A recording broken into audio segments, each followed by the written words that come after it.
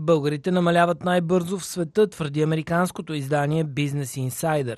Материалът проследява демографските проблеми в 10 европейски страни, сред които Латвия, Унгария, Украина, Хрватия, Румъния, Молдова, Литва, Полша, Сърбия и България. Специално място отделено на демографската криза у нас. Според изданието, българите са най-бързо топящото се население в света. Очаква се през 2050 година българите да са едва 5,4 милиона.